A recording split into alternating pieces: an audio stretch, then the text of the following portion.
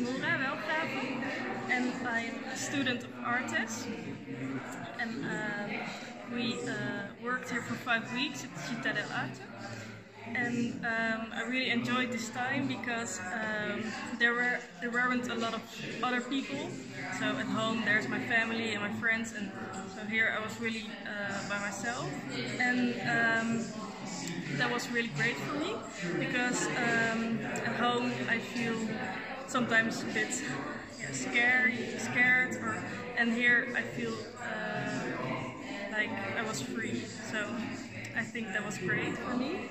And uh, today I uh, I'm going to show three movies, music videos, and. Um, it's about my alter ego, Young Nora.